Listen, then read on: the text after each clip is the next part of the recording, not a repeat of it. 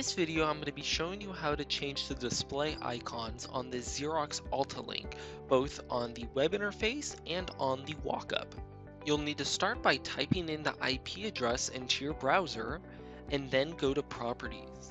It will prompt you to log in. If you don't know what your login is, the default is admin, and the password is 1111. If it isn't 1111, it normally will be the serial number.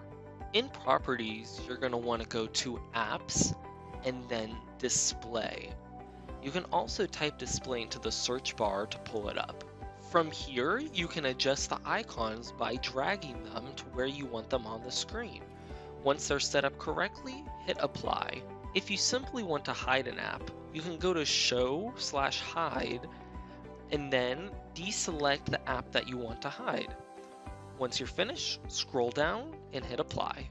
In this part of the video, I'm going to show you how to do it by walking up to the machine. You'll need to start by logging in as admin.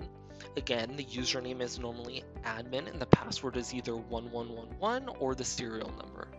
Once you're in as admin, you'll want to scroll down and hit customize, then customize home. Then you can drag and drop the apps wherever you'd like on the screen and can, you can also hit the X to hide them if you don't want them on the screen in the future. Once you're finished, hit done, and now you have successfully customized the home.